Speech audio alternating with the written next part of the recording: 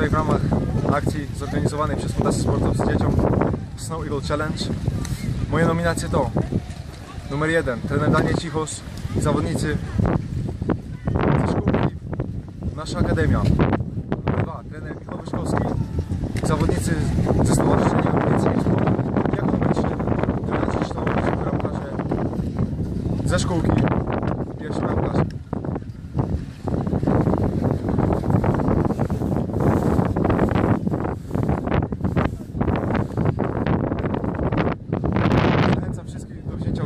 Peace.